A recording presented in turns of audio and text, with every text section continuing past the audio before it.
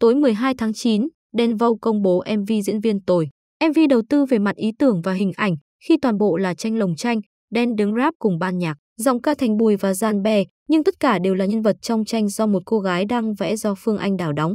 Và tổng thể khung cảnh đó lại là một bức tranh mà một cô gái đang đứng ngắm vẫn là Phương Anh Đào. Sau những đề tài về gia đình, xã hội, đam mê như mang tiền về cho mẹ, đi trong mùa hè, ai muốn nghe không, Đen trở lại với chủ đề tình yêu qua diễn viên tồi. Cũng như nhiều bản rap khác của Đen, diễn viên tồi có những trích dẫn nổi bật như anh không hề muốn mình từng trải, bởi vì từng trải là từng đau. Trên mặt bằng chung, MV diễn viên tồi nhận phản hồi tích cực hơn so với đi trong mùa hè hay ai muốn nghe không.